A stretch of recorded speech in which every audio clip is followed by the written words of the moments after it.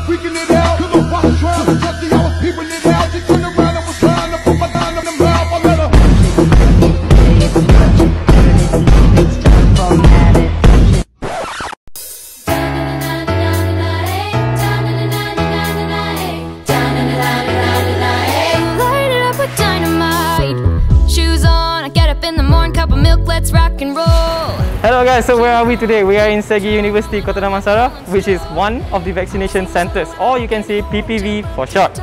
We are doing this to support the government's initiative to increase vaccination effort for the public. So let's check it out.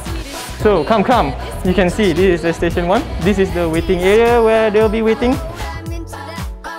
Come, let's get inside. Oops, my bad. Someone got vaccinated. Okay, let's go.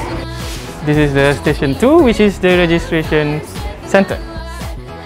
So station 3 is where the screening and consent will be happening before station 4, vaccination.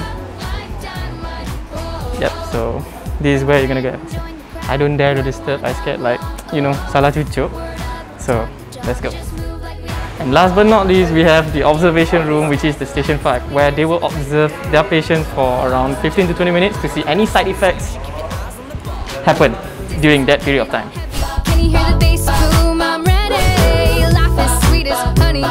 Apa Pak Cik rasa lepas dah divaksinasi hari ni? Saya rasa macam biasa aja buat masa kini. What did, does it feel like after getting vaccinated? At first when they jam, a bit of pain. Now okay. Not worry lah. Got some protection lah. 呃，你为什么想要打呃这个 vaccine？因为又健康嘛，因为现在那个疫情很厉害嘛，是很多人中到，就是呃快点打了。 Lepas divaksinasi ni rasanya side effect pun tak kena kat Pak Cik ni. Pak Cik nampak sihat sangat ni. Yalah dah 72. otak otak masih berbisa. Would you recommend your friends and families to take this vaccine?